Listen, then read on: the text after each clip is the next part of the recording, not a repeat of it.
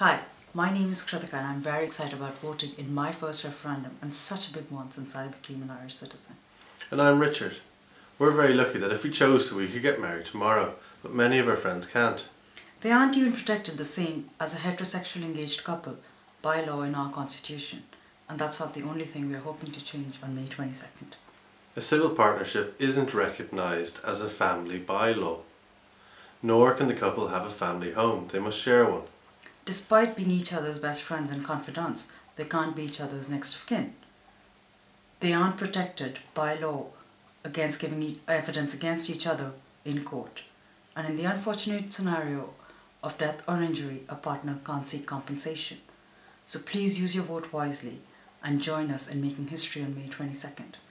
Vote yes for equality.